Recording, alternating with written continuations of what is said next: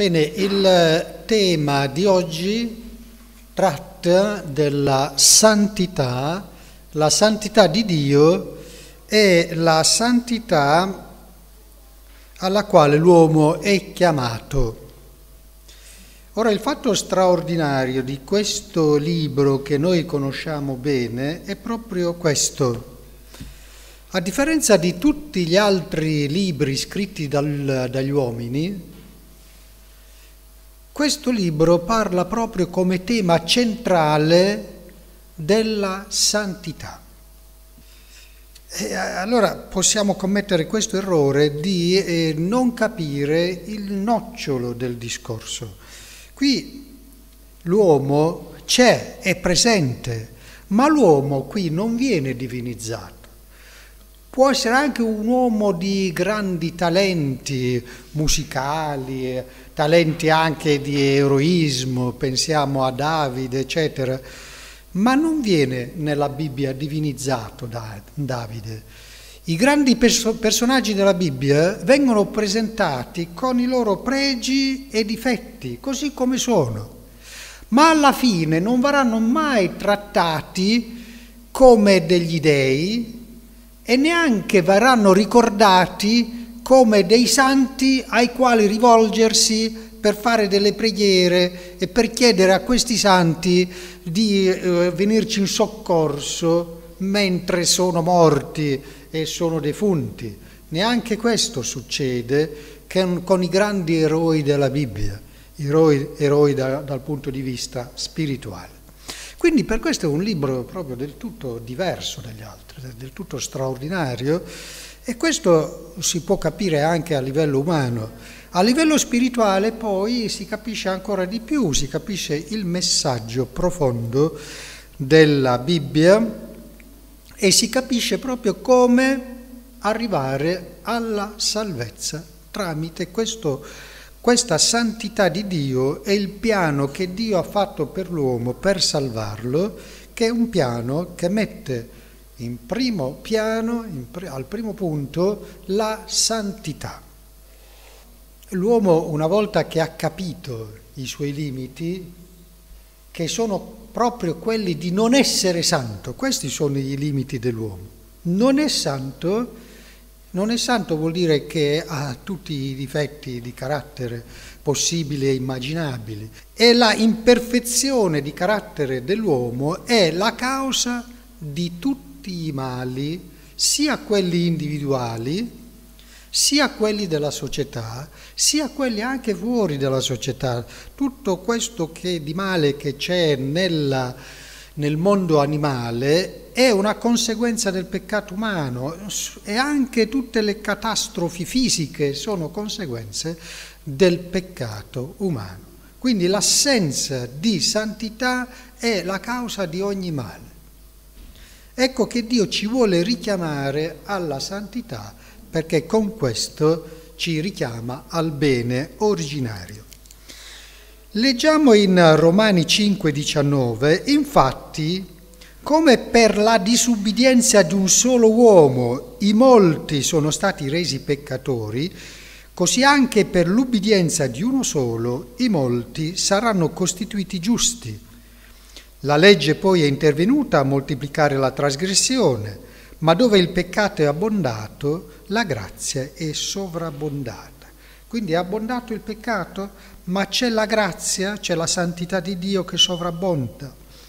E ancora, affinché come il peccato regnò mediante la morte, che è quello che regna ora, ancora, Così pure la grazia regni mediante la giustizia a vita eterna per mezzo di Gesù Cristo nostro Signore. Quindi un messaggio chiarissimo. Il nostro problema è la sofferenza e la morte. La morte regna nella società senza la grazia, senza l'intervento di Dio, senza la santità, ma il messaggio, l'Evangelo di Dio è che questa grazia, questa grazia vince, questa grazia si manifesta. Allora noi siamo come eh, persone senza conoscenza in questa situazione. Ora guardate questa immagine, io ve l'ho già proiettata. ora la rivediamo nel nuovo contesto stiamo, di cui stiamo parlando. Noi siamo in una confusione totale, non conosciamo la verità, non sappiamo che cosa sta succedendo. Se voi guardate questa immagine qui, vedete qui un caos di, di, di, eh, di pillole, mezze mozzicate, eh, spezzate, una confusione, diciamo, il caos, il caos.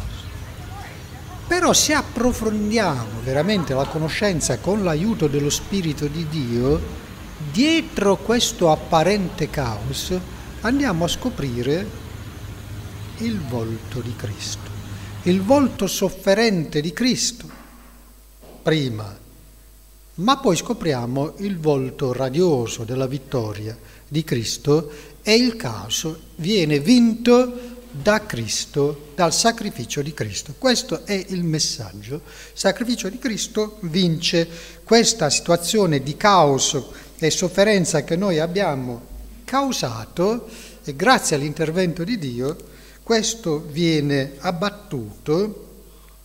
In 1 Corinzi 6:11 Eravate eh, eh, tali eravate alcuni di voi, ma siete stati lavati, siete stati santificati, siete stati giustificati nel nome del Signore Gesù Cristo e mediante lo Spirito del nostro Dio. Ancora 2 Corinzi 3:18 e noi tutti a viso scoperto contemplando come in uno specchio di gloria la gloria del Signore, siamo trasformati nella sua stessa immagine di gloria in gloria, secondo l'azione del Signore che è lo Spirito. Nella storia della santificazione dei convertiti nella Bibbia vi sono questi episodi proprio di santificazione. Se noi andiamo a leggere la Bibbia, che cosa andiamo a leggere? Andiamo a leggere che Dio è santo, bene, ma non leggiamo solo questo leggiamo anche la storia di santificazione degli uomini che si sono convertiti, che sono usciti fuori dal peccato.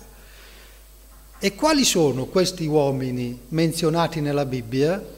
Si parte da Adamo ed Eva. Adamo ed Eva, in un primo momento, in seguito al peccato, al, al fatto che hanno disubbidito a Dio, hanno mentito, si sono inorgogliti, si sono voluti appropriare della vita indebitamente con la bugia, con l'inganno, in un primo momento Adamo ed Eva si sono nascosti, cioè hanno cercato una salvezza propria con le proprie mani, una salvezza per opere.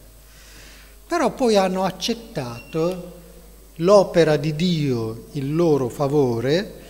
Dio gli aveva detto che il giorno in cui avrebbero peccato sarebbero morti Dio presenta il piano della salvezza, gli dà questo abito fatto di pelle del sacrificio di, di, del, dell'animale che rappresentava Cristo e quindi qui vediamo che Adamo ed Eva accettano questo abito.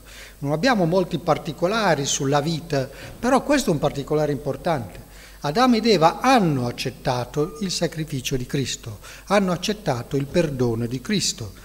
Poi ci sono tanti altri pa- personaggi, vediamo subito la storia di Caino, di Abele.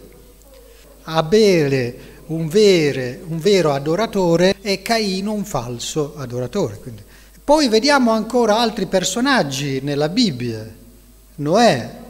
Noè è stato anche lui una persona che ha fatto questo processo di santificazione Noè ha predicato 120 anni, ha proprio ha dimostrato la sua fede nell'invisibile.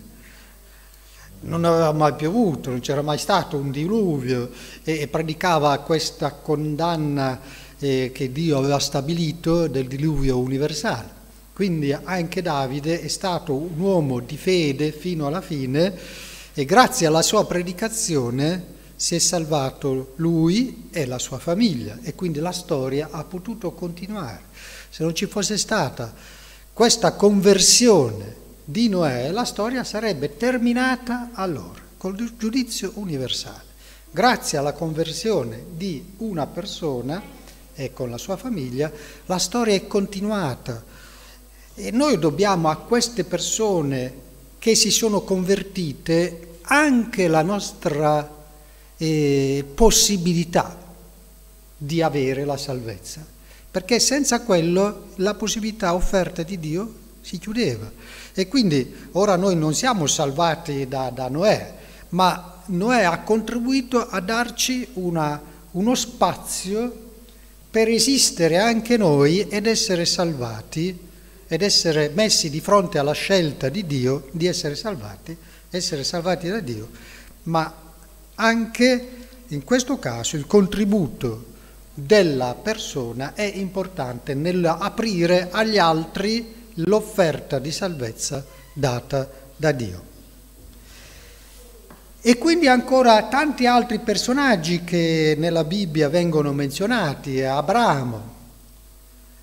Abramo sua, nel suo processo di santificazione è arrivato al punto di capire a fondo il piano di salvezza di Dio, quello del sacrificio del suo figlio che doveva pagare il prezzo di riscatto.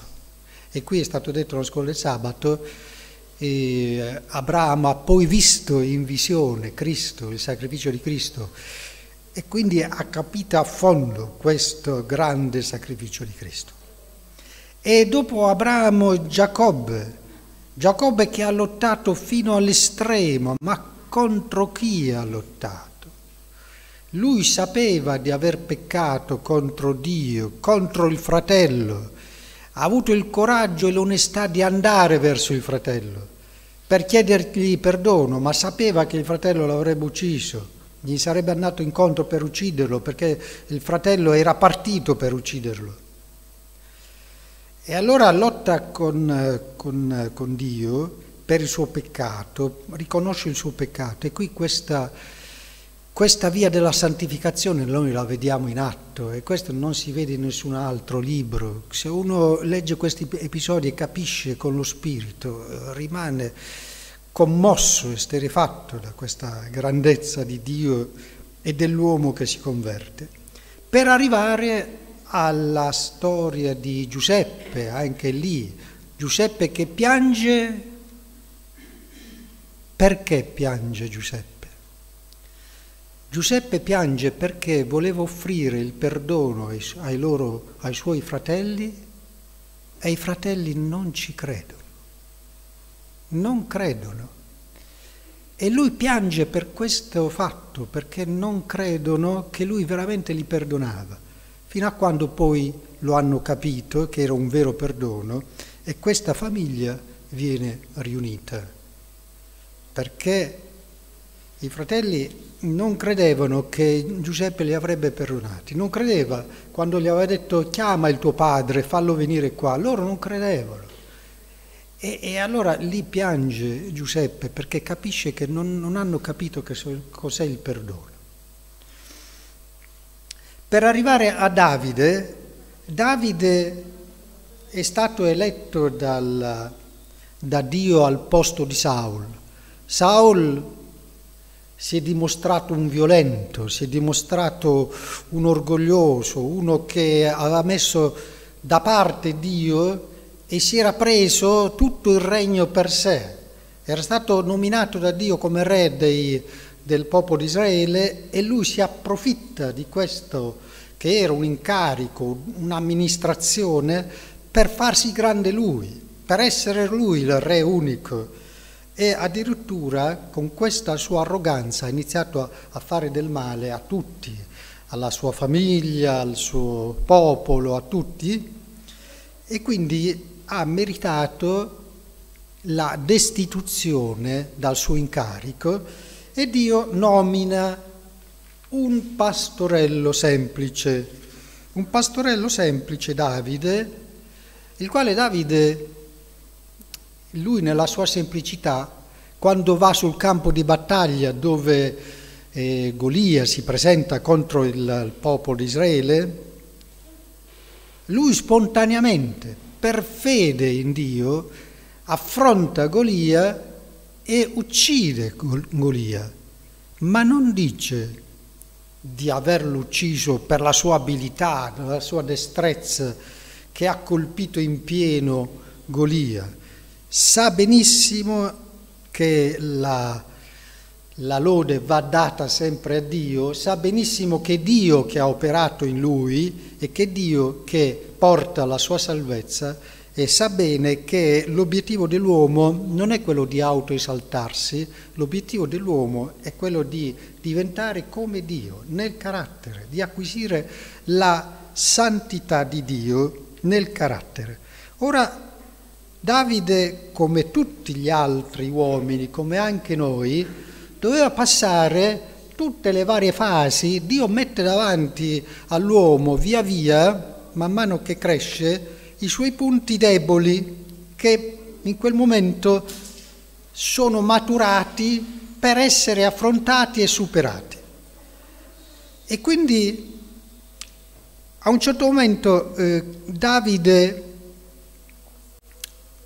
sta in una situazione di completa persecuzione, ma persecuzione proprio non persecuzioni così ti tolgo il lavoro, persecuzione di, di morte, di vita o di morte. E leggiamo qui in, in 1 Samuele 19,9: Allora uno spirito cattivo, permesso dal Signore, si impossessò di Saul. Egli sedeva in casa sua tenendo in mano una lancia, mentre Davide suonava l'arpa. Davide era stato chiamato da Davide eh, cioè eh, Davide era stato chiamato da Saul perché riusciva eh, Davide con la sua arpa, con la sua musica, a migliorare lo stato di malattia di Saul.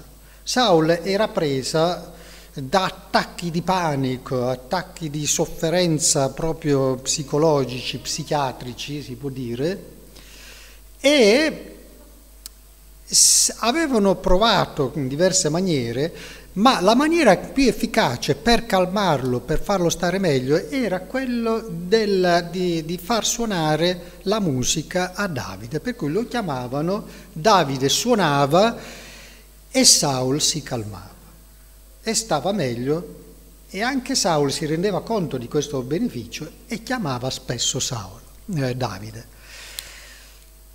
Però dietro questa azione Saul invece che ringraziare Davide aveva questo sentimento di persecuzione, di odio, tant'è che in questa occasione che cosa fa? Mentre Davide sta suonando l'arpa e quindi lo sta curando praticamente con la musica, qui usi, usa la musicoterapia che stanno scoprendo ora che non l'hanno ancora capita bene.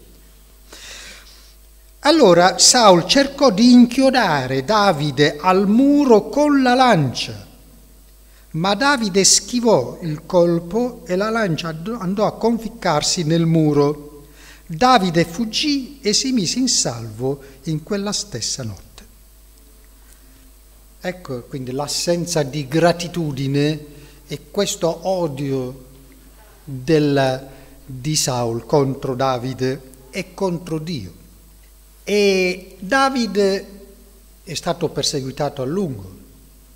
A un certo momento Davide ha avuto l'occasione di poter uccidere Saul, perché Saul era entrato nella grotta dove lui era nascosto e quindi in quell'occasione in cui era del tutto solo, Davide, insieme al gruppo che si era nascosto, avevano nelle loro mani la possibilità di uccidere.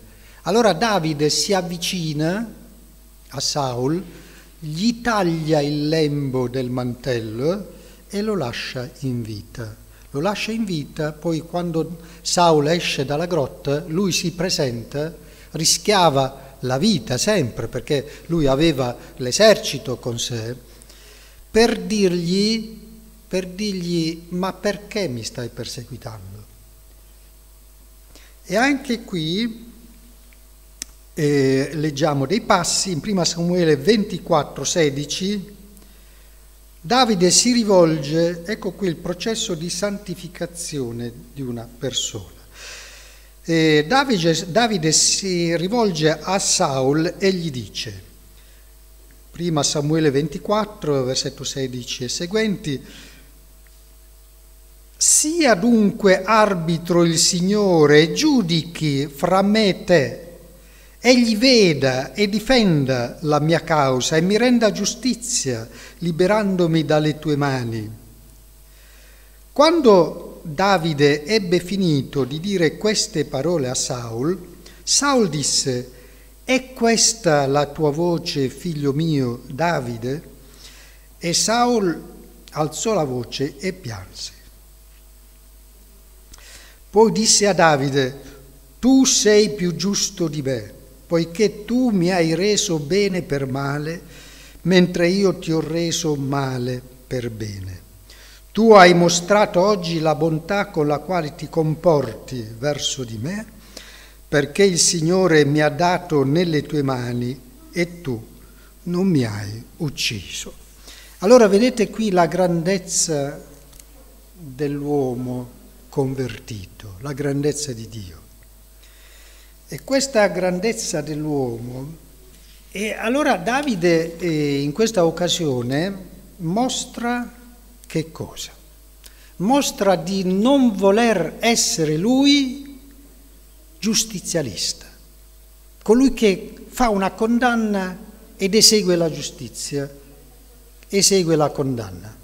In questa occasione Davide capisce bene che non doveva essere lui giustizialista, non doveva lui commettere questo errore di mettersi al posto di Dio, di mettersi al posto. Dio sapeva che Dio aveva in mano la situazione, sapeva che Dio avrebbe potuto fare giustizia in ogni momento nei confronti di Saul, quindi non doveva essere lui a stabilire la fine di, di Saul, perché l'uomo il giustizialismo ce l'ha dentro di sé.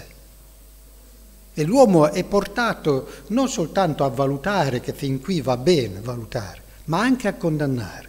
E condannare, bisogna capire questo particolare qua, condannare non è dato all'uomo di fare. L'uomo non è stato incaricato da Dio di eseguire delle condanne, anche se la cosa è giusta. È una cosa difficile da capire questo, però bisogna capirla. Quindi ogni volta che noi siamo oggetti di un, di un male, quindi di un torto, abbiamo tutto il diritto di dirlo, ma perché mi fai questo torto? Ma non abbiamo il diritto di vendicarci, di eseguire una condanna, di dire, ebbene, per questo ora non parlo più con te. Questa è condanna, non si può fare. Questa è condanna. Per questo io ora ti, eh, ti do una punizione che te la, non te la scordi più. Questa è condanna. Diversa è la disciplina. La disciplina non è la vendetta. Perché Davide in un'altra occasione, vi ricordate di Nabal che aveva rifiutato di aiutare Davide che era in bisogno con tutto il suo gruppo che eh, Davide e i suoi avevano protetto i, i greggi, gli uomini di Nabal dai briganti, eccetera. Quando lui si è presentato per avere un aiuto, Nabal eh, l'ha proprio maltrattato, anzi eh, era disposto a farlo fuori. E ebbe una reazione Davide, eppure questo è un episodio che vi ho raccontato dopo quello precedente, ebbe una reazione contro eh, Nabal di rabbia tale che si organizzò subito per andare a uccidere questa persona malvagia. E qui interviene Abigail che permette a Davide di capire che stava commettendo un errore nel voler fare lui giustizia anche se aveva ragione. Era un errore, Davide lo capisce e vediamo come reagisce. capisce eh, che stava commettendo un errore, accetta la, il consiglio di Nabal e ringrazia Dio perché gli ha mandato Nabal. Dopo eh, ne ha mandato Abigail, dopo un poco Nabal muore, muore proprio di, di, per questa notizia di, di Davide. E, e, quindi leggiamo in 1 Samuele 25:39 quanto segue. Quando Davide seppe che Nabal era morto, disse sia benedetto il Signore che mi ha reso giustizia dell'oltraggio fattomi da Nabal e ha pre- preservato il suo servo dal fare del male, la malvagità di Nabal il Signore l'ha fatta ricadere sul capo di lui. Poi Davide mandò ad Abigail la proposta di diventare sua moglie. Ecco qui che ora eh, Davide ha capito pienamente che il giustizialismo è un grande errore. Lui non è caduto nella sua trappola nei confronti di Saul, ci stava cadendo nei confronti di, ne- di Nabal, non ci cade grazie all'intervento di Abigail, riconosce questo errore del suo carattere e quindi ancora una volta il suo grado di santità, di santificazione procede. E qui eh, Ora leggiamo in conclusione dei passi in Romani e poi in Matteo. Romani 12, da 17 in poi, non rendete a nessuno male per male, impegnatevi a fare il bene davanti a tutti gli uomini. Se è possibile, per quanto dipende da voi, vivete in pace con tutti gli uomini, non fate le vostre vendette, miei cari, ma cedete il posto all'ira di Dio, poiché sta scritto a me la vendetta, io darò retribuzione, dice il Signore. Anzi, se il tuo nemico ha fame, dagli da mangiare, se ha sete, dagli da bere, poiché facendo così tu radunerai dei carboni accesi sul suo capo non lasciarti vincere dal male, ma vinci il male con il bene. Ecco come riassume bene l'Apostolo Paolo tutto quello che abbiamo detto. E ora ascoltiamo le parole di Gesù sul monte delle beatitudini. Ma beati quelli che sono affamati e assetati di giustizia perché saranno saziati, cioè è Cristo, è Dio che fa giustizia. Beati quelli che si adoperano per la pace, perché saranno chiamati figli di Dio. Beati i perseguitati per motivo di giustizia, perché di loro è il regno dei cieli. Davide l'aveva capito molto bene.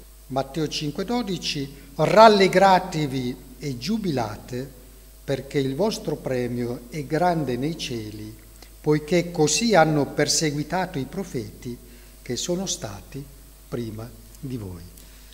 Che Dio ci aiuti a capire e seguire questo insegnamento e ringraziamo Dio per tutto questo. Amen.